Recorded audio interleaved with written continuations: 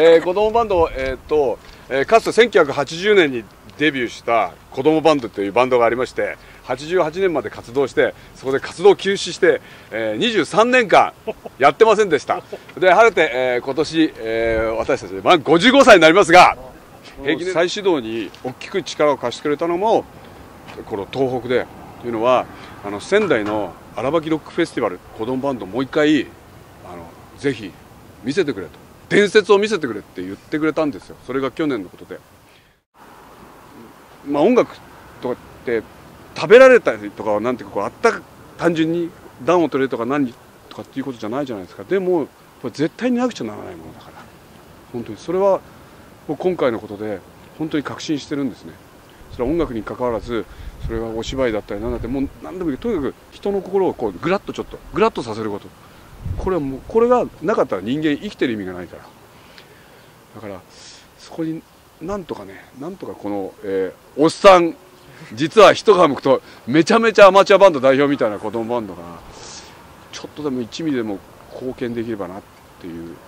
ところですね。音楽の力はね、ぜひ。ああおい絶対ありますよ。音楽と言わず。もう何でもこう別に あの音楽でも何かやって人が変なのって言ってもこう普段からちょちょちょってなんか食ってリラックスできる何か。そういうものを持ってる人はもうみんななんかねこうやれることはこうどんどんやっていくに限りますね。うん。藤木さんがこう来るとみんななんかにぎわいますもんねなんかねお話しすぎじゃないですか。うんなんかみんな笑顔でした、ね、そういうのあるんですよね。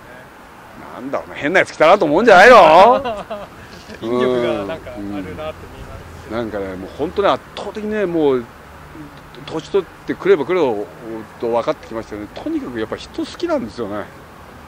異常になんか。ものすごく甘ったれだしだからなんかあとは人がこうまあねそれこそ和んでくれたりとか人が笑ってるのとか本当好きだから、うん、よくあの辛い時お前なんで笑ってんだって怒られる時ありますけど、うん。ね、